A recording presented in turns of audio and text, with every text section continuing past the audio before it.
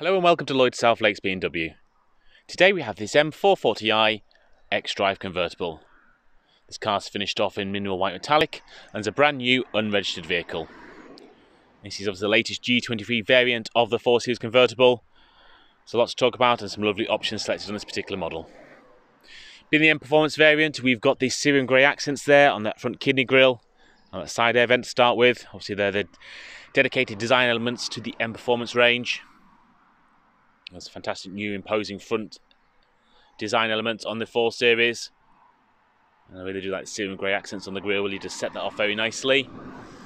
Moving on to the headlights, we've got the full BMW laser light system in this car. see it with the those blue design elements as well in there. Obviously, that's when the main beam can switch to the full laser light functionality. It is a full adaptive system as well, so that will bend and twist based on the steering wheel inputs to help brighten up the road ahead. Moving on to the wheels, We've got the 19 inch. It's a 792 M double spoke alloy wheel. Yet again, finished off in the cerium grey accents. Got does have this diamond cut front face as well, so you do have this diamond cut section in the outer outer section of the rim, and also that cerium grey inlay there. We've also got the red brake calipers, something you were seeing on some of the latest generation BMWs. And there's other options for the blue brake caliper as well, if you so wish. Moving around the M designation there, that's also finished off in that silver grey accent, as well as those mirror caps. One of the big talking points is we've now got a fabric folding roof on this latest generation 4 series. I do have a separate video which I'll link going over some of the new elements on the G23. So today we'll just concentrate on the specification of this car.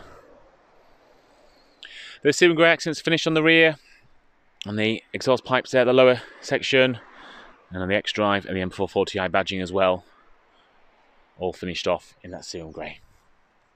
Into the boot, this car does have comfort access, so you can access the boot just by waving your foot underneath the rear, and I've just opened it there via the key as well.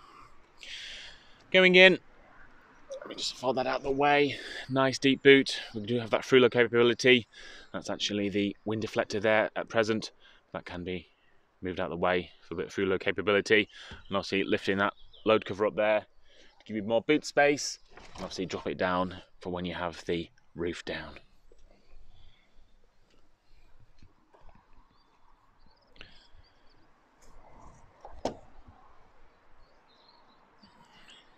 As mentioned, this car does have comfort access, so very easy entry point to get into the boot and also getting into the vehicle. So a few different ways to this for this to work this option. The way I like the most is the latest system. So from a few meters away, the car will recognise you. Put on some welcome lights. Then from about a meter away, the car will fully unlock. So as you approach the vehicle, very easy just to get in and out of the car.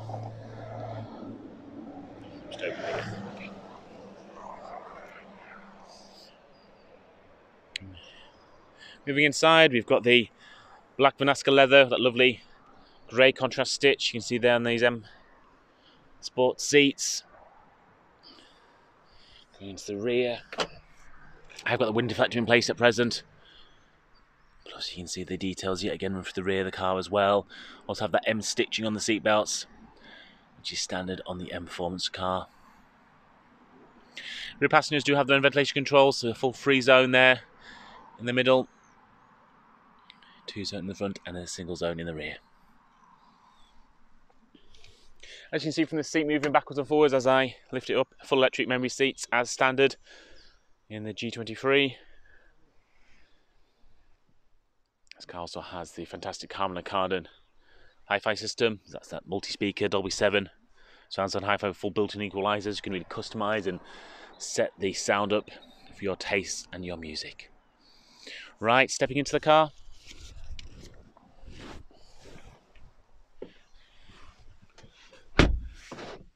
Now with the other variants of the new 4 Series, we've got the latest BMW Live Cockpit Professional ahead of us.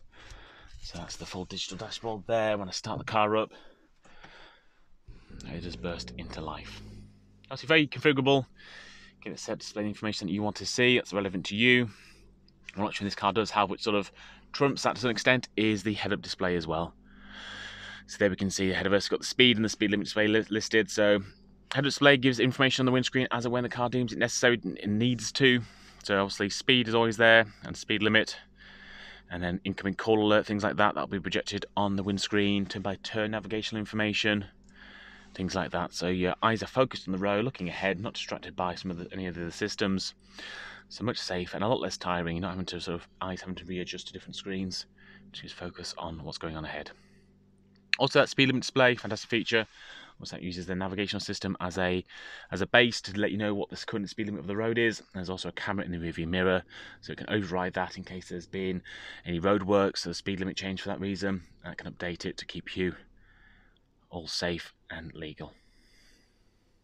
Moving on to the central screen, got the latest BMW OS 7 operating system. Have these different pages of information which you can customize and set up. You Can display the information that you want to see that's relevant to you. See, it's full touchscreen that I'm using there. Fantastic, I think, from a standstill point of view, but I still love using the iDrive dial whilst driving.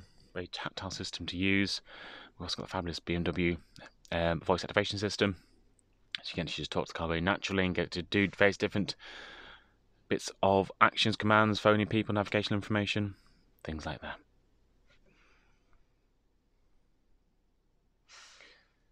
Moving on down, we've got the dual zone climate control. Uh, at the front, I've said it's a, zone in the rear as well, so full free zone in the 4 Series convertible. Got the freeway heated front seats here for both front passengers. That's all standard the late Generation 4 Series. Favourite buttons there, the 1 to 8, along with the media controls. Also got the beautiful fabric trim as well. It's almost like an aluminium mesh with a high gloss finish. This camera probably won't pick it up and do it justice, to be brutally honest with you.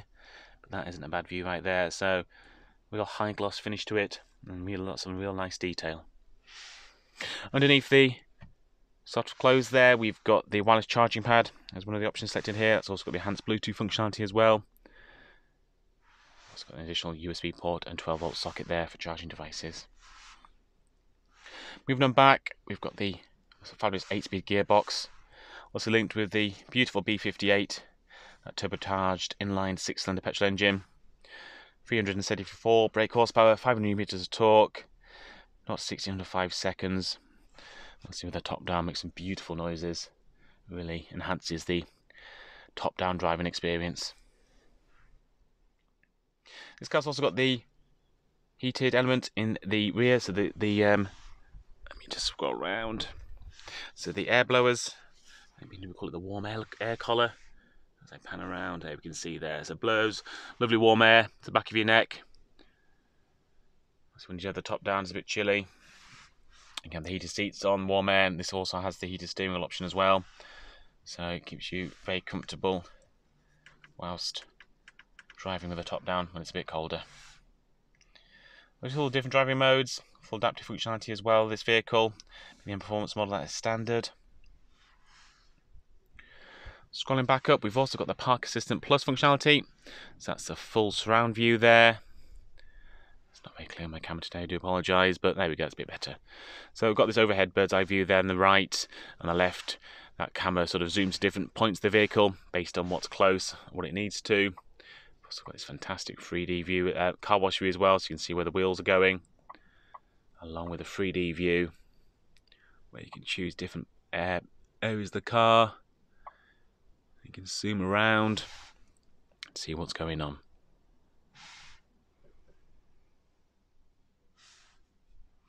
That also has the drive recorder built in as well, so that's using the 360 degree cameras as a dash cam. So no need for any additional cameras or wiring into the vehicle. There's heated steering wheel option as I mentioned. That's a fantastic feature in the convertible along with those. Warm air collar. Another feature in this vehicle also is the drive assistance professional. So we've got full adaptive cruise control here, um, full lane assistance as well, so help you keep you in lane. Uh, we do have blind spot detection in the wing mirrors, as well as it will help you stop you from sort of veering into lanes and trying to cross lanes when there's a car in your blind spot. So as long as a visual indication, there is some sort of semi-autonomous functionality to the steering wheel as well to look after you. Not autonomy in any sort of strict measure, don't never take your hands off the steering wheel, but certainly assistance to look after you whilst you're driving the vehicle. Also got the high beam assistance there, as mentioned, with the full adaptive headlights, uh, laser lights in this vehicle. Uh, the high beam assistance, that's where it automatically dips and ra raises the high beam based on traffic around you. Can you put blocks of light around the vehicles as well to look after you and not blind other vehicles.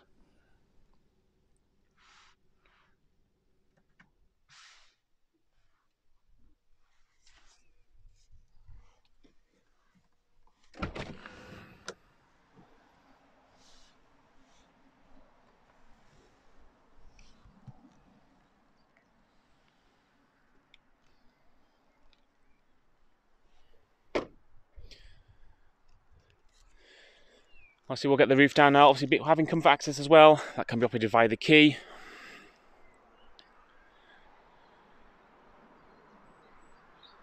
Obviously that's what convertible's all about. 18 seconds for the roof to fold down. It can actually be done whilst moving along up to speeds of 80 miles an hour.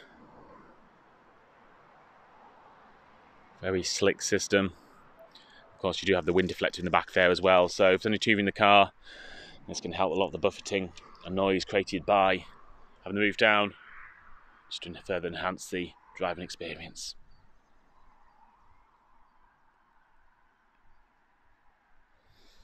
I hope this video has been of use. If you need any further information, please do get in contact, and one of our sales executives will be more than happy to help.